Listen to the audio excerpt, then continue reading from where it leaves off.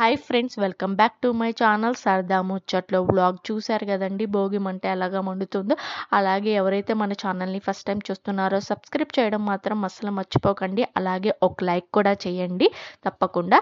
And ఇప్పుడు వచ్చేసి మనము భోగి పళ్ళు అయితే పోస్తున్నామండి. మా బావ పిల్లలకి మీరు చూస్తున్నారు కదా వాళ్ళ అమ్మ వేస్తుంది. త్రీ టైమ్స్ వేయాలంట అండి ఫస్ట్ త్రీ టైమ్స్ వేస్తుంది. మేము వచ్చేసి భోగి పళ్ళ కోసం భోగి రేక్కాయలు అలాగే పువ్వులు బంతిపువ్వు రెక్కలు అండ్ వచ్చేసి డబ్బులు తీసుకున్నామండి. అలాగే ఐదు మందిని పిలిచాము. తాంబూలం కూడా ఇప్పిస్తున్నాము. చూసారు కదండి వాడు వాళ్ళ తమ్ముడికి వేస్తున్నాడు. బాగా అల్లరంటే అల్లరి చేసేస్తున్నాడండి వాడు.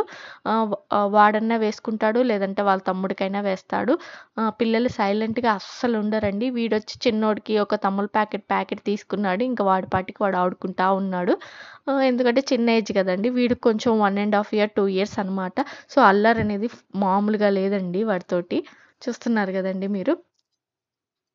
భోగిపళ్ళు అయితే వేస్తున్నారు ఆ, ఈ సంక్రాంతికి మేమైతే ఇలా వేసామండి ఇలా చేసుకున్నాము భోగి అనేది. మీరు ఎలా చేసుకున్నారో నాకు కామెంట్ సెక్షన్లో కామెంట్ చేయండి. తప్పకుండా అలాగే మీకు నచ్చితే లైక్ చేయండి షేర్ చేయండి సబ్స్క్రైబ్ కూడా చేయండి. చూస్తున్నారు కదండి వాడు పండు కూడా ఇస్తున్నారు వచ్చిన వాళ్ళకి ఒక్కొక్కటి. చూడండి పళ్ళు తీసుకోలేదని బొట్టు కూడా పెట్టించుకోవట్లేదు గొడవ పడుతున్నాడు ఆమెతోటి ఆమె బనానా తీసుకోలేదని పెద్దోడు చిన్నోడు వచ్చేసి మంచిగా బొట్టు పెట్టించేసుకుంటున్నాడు.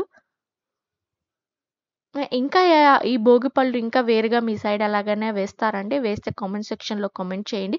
ఎందుకంటే మనం ఫస్ట్ టైం వేస్తున్నామండి మేము పిల్లలకి. నేను ఎప్పుడు చూడలేదంటే మా సైడ్ మాకు ఇట్లా భోగి పళ్ళు వేసేది లేదు. సో మా అత్తమ్మ వాళ్ళ సైడ్ ఉందనమాట అందుకే వాళ్ళు వేస్తున్నారు. నేను ఫస్ట్ టైం చూస్తున్నాను.